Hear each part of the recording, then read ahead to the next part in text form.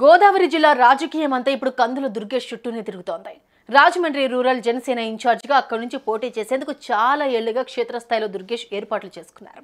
అయితే రాజమండ్రి రూరల్లో TDP sitting MLA Butchaiah Chowdary మరోసారి బరిలో నిలిచి కందులతో పాటు ఆయన అనుచరులకు షాక్ ఇచ్చారు అయితే ఈ పరిణామాన్ని వైసీపీ ప్లస్ చేసుకోవాలని భావిస్తోందట. షాక్లో ఉండగానే కందులపై వైసీపీ గురిపెట్టిందట. ఆపరేషన్ ఆకర్ష్లో భాగంగా మార్గాని భరత్ బార్గెన్ కూడా మొదలుపెట్టారట. సిఎంఆర్ షాపింగ్ మాల్ మన హైట్ నగర్లో భాగ్యలత కమాన్ పక్కన ఫిబ్రవరి ఇరవై తొమ్మిదిన ప్రముఖ సినీ తారలచే గొప్ప ప్రారంభం.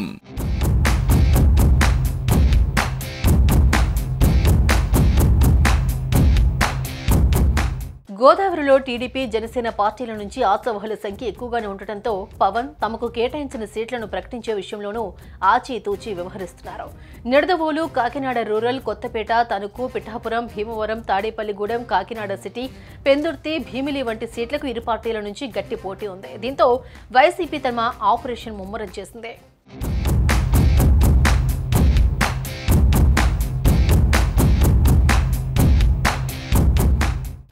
తూర్పుగోదావరి తూర్పు గోదావరి జిల్లా జనసేన ప్రెసిడెంట్ కందుల దుర్గేష్ ఏపీ రాజకీయాలలో హాట్ టాపిక్గా మారారు.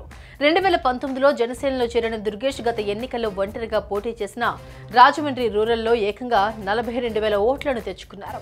రెండు వేల పంతొమ్మిదిలో జగన్ ప్రభంజనం పెద్ద ఎత్తున వీచిన దుర్గేష్ ఇంత పెద్ద సంఖ్యలో ఓట్లను తెచ్చుకున్నారంటే నియోజకవర్గంలో ఆయన సత్తా ఏంటో అర్థమవుతుంది. దీంతో ఈసారి పొత్తులో అయినా సరే ఆయనకు రాజమండ్రి రూరల్ సీటు పక్కా అనుకున్నారు. ఇటీవల రాజమండ్రి వచ్చిన జనసేన అధినేత పవన్ కళ్యాణ్ కూడా దుర్గేష్ కు రాజమండ్రి రూరల్ సీటుపై హామీ ఇచ్చినట్టు వార్తలొచ్చాయి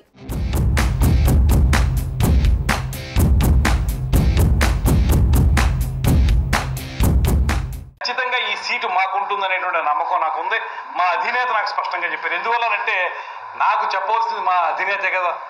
వాళ్ళ అధినేత కూడా మాకేం చెప్తున్నాడు బుచ్చి గారు అక్కడ నేను మళ్ళీ సరే రెండేళ్ళ క్రితం అనే దానికి కూడా చెప్తాను. రెండేళ్ళ క్రితమే ప్రకటించింది. మీరు కూర్చోండి అప్పుడు పొత్తు లేదు. రెండేళ్ళ క్రితం పొత్తు లేదు సిట్టింగ్ ఎమ్మెల్యేలకు ఇస్తామని చెప్పారు. చెప్పలేదని ఎవరు అనరు దాన్ని. కానీ అప్పుడు పొత్తు లేదు. పొత్తు తర్వాత అనేక రకాల మార్పులు చేర్పులు జరుగుతాయి. దాన్ని త్యాగాలు చేయాల్సి వస్తుంది. అనేటువంటి మాట కూడా చంద్రబాబు నాయుడు గారు చెప్పారు. అయినప్పటికీ కూడా అయినప్పటికీ కూడా నేను కూడా చెప్తున్నానండి.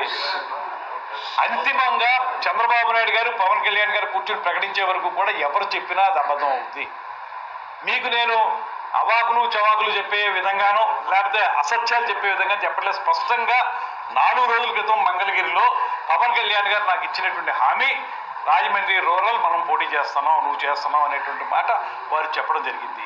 ఇది స్పష్టమైనటువంటి మాట. అయినప్పటికీ నేను దాన్ని బాహాటంగా చెప్పడం లేదు ఒకటే చెప్తున్నాను. అంతిమంగా వారిద్దరూ కలిసి నిర్ణయించేటువంటి నిర్ణయమే కరెక్ట్ వాళ్ళు చెప్తారనేటువంటి మాట.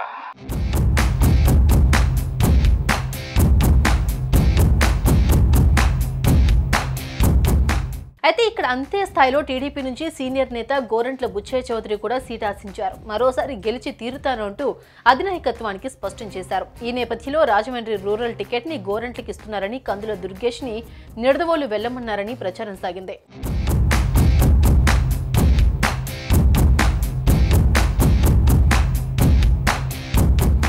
కందుల దుర్గేష్ కూడా ఈ ప్రచారాన్ని కన్ఫర్మ్ చేశారు. అయితే దుర్గేష్ అభిమానులు అనుచరులు మాత్రం రాజమండ్రి రూరల్ నుంచి పోటీ చేయాలని పట్టుపడుతున్నారు వారంతా ర్యాలీలను నిర్వహిస్తూ తమ నిరసనలు వ్యక్తం చేస్తున్నారు. ఈ నేపథ్యంలో రాజమండ్రి ఎంపీ మార్గాని భరత్ సంచలన కామెంట్స్ చేశారు.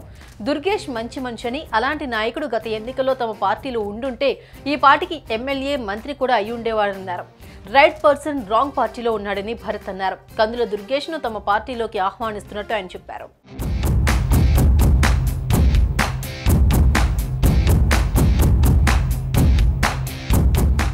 నేను ఒకటే చెప్పాను కదన్నా.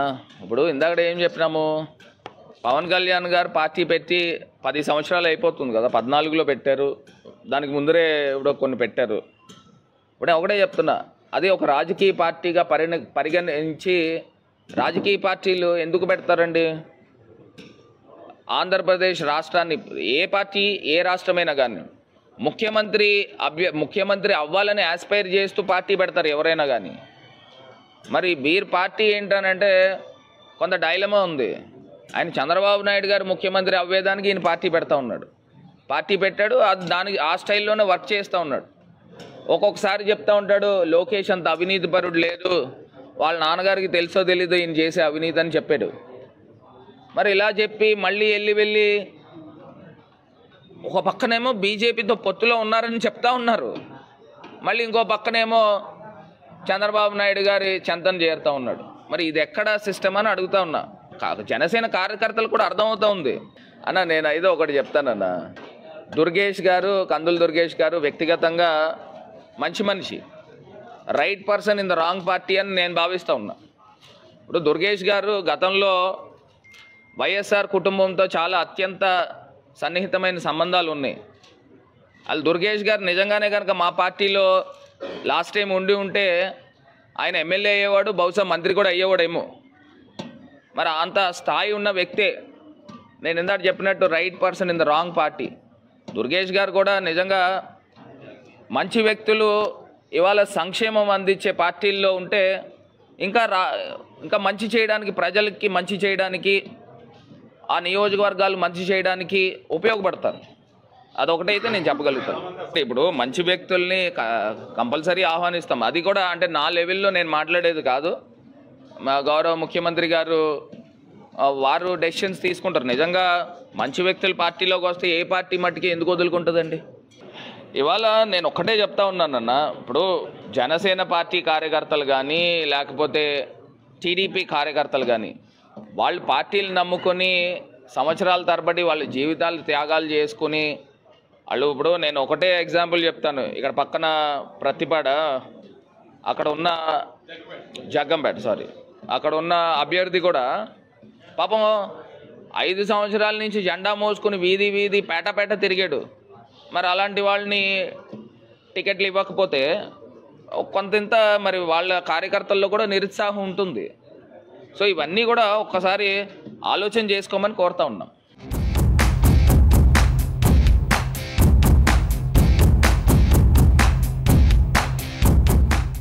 మొత్తంగా ఈ పరిణామాలు చూస్తుంటే కందుల దుర్గేష్ను వైసీపీలో చేర్చుకునేందుకు క్షేత్రస్థాయిలో పావులు కదుపుతున్నట్టు అర్థమవుతోంది. మరి మార్గాని బార్గాని ఎంతవరకు పనిచేస్తుందో చూడాలి.